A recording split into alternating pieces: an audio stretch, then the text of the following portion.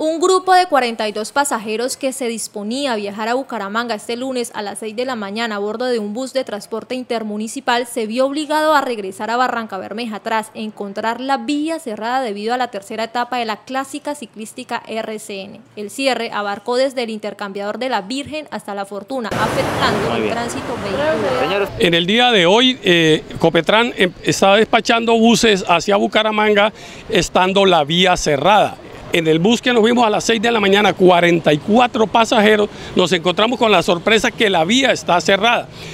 El bus nos devolvió nuevamente aquí. Mucha gente tenía citas prioritarias. Uno de los pasajeros afectados señaló que la empresa no les informó previamente sobre el cierre, a pesar de haber vendido los tiquetes con normalidad. Incómodo con el tema de, de, Copetran, como la agencia como tal Copetran, porque pues eh, nosotros eh, llegamos esa mañana pues a abordar un bus, eh, incluso nos venden los tiquetes para, hacer el, abordamiento del bus y el bus nos despachan a las 6 de la mañana, pero en mitad de carretera el bus se devuelve porque dice que la vía está cerrada.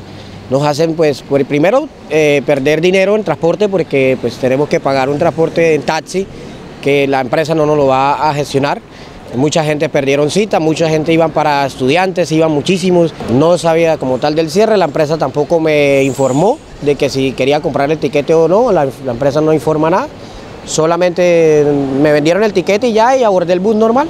Ante esta situación, este pasajero solicitó la devolución del dinero, a lo que asegura que la empresa inicialmente se negó a devolver el monto pagado, ofreciéndole programar el viaje en su lugar.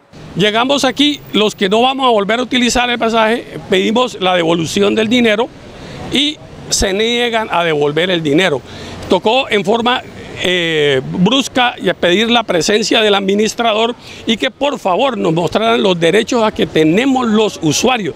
Entonces, ellos no prestaron el servicio, tengo derecho a que me devuelvan el dinero. Me quieren obligar a que debo tomar otro bus en otro tal, le digo, no lo necesito. Entonces mucha gente fue sometida, no le quisieron devolver el dinero, para que por favor tengan claro y expliquen a qué tiene derecho el usuario cuando no se presta el servicio. Y por qué si todo el mundo sabía que desde las 5 de la mañana de hoy hasta las 11 la vía está cerrada porque despacharon buses y hay mucha gente que en este momento, siendo a las 8 de la mañana, no sabe que no pueden pasar y van a perder la cita. En forma grosera y tocando dejarme me exigieron la cédula, devolución de la cédula, filmar un papel y en vista de que dije que no me movía del sitio hasta que no me devolvieran el dinero para sentar un precedente, procedieron en forma grosera a hacerme firmar unos papeles y me devolvieron el dinero. Pero la mayoría de las personas se fue y no les devolvieron el dinero. Fue porque yo me demoré, pero yo sí hice valer mi derecho como usuario.